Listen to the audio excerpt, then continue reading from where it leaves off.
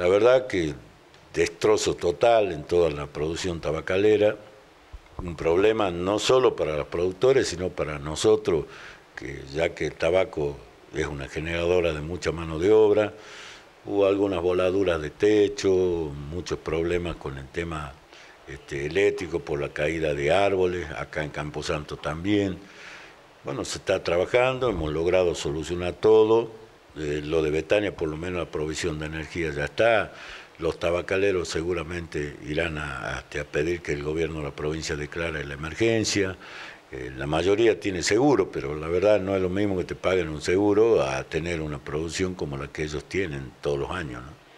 Bien, entonces, este 2018, ¿cómo lo ve? Es un poco gris.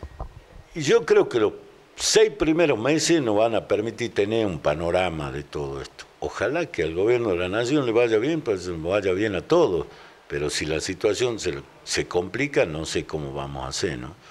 Porque la verdad, la verdad, terminamos un año muy, muy, muy ajustadísimo, ajustadísimo, y empezamos un año como hacemos todos, con esperanza, con ganas, pero vamos a ver cómo cómo anda el tema económico, para partir de ahí este, la situación puede cambiar. Lo que sí, ojalá que no podamos, que no lleguemos a tener ningún tipo de ajuste, especialmente con los trabajadores.